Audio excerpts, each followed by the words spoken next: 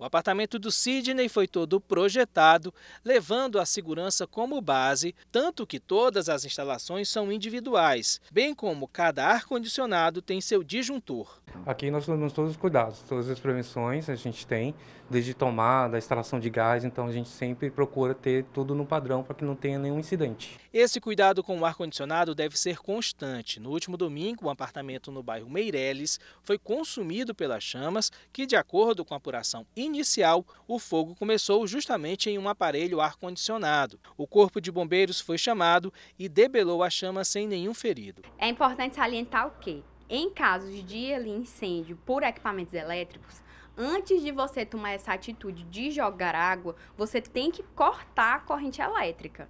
Desliga lá o disjuntor, utiliza ali um pano para abafar aquela chama, ou aqui mesmo nos apartamentos, a gente pode estar utilizando os extintores para estar tá debelando ali aquelas chamas. De acordo com o Corpo de Bombeiros, as principais causas de incêndios em apartamentos são instalações elétricas mal feitas, utilização de T's ou benjamins de maneira indiscriminada, manter aparelhos elétricos ligados sem necessidade, como carregadores de celulares, e vazamentos de gás.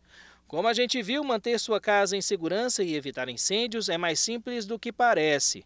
Basta fazer como Sidney, que teve o apartamento aprovado pelo Corpo de Bombeiros. Ele utilizou vários é, interruptores para poder realmente fazer essa distribuição mais correta. Tem a utilização aqui dos disjuntores separando incômodo. O, o, a relação da, da saída de, de gás é canalizada, então realmente aqui está dentro dos conformes do Corpo de Bombeiros.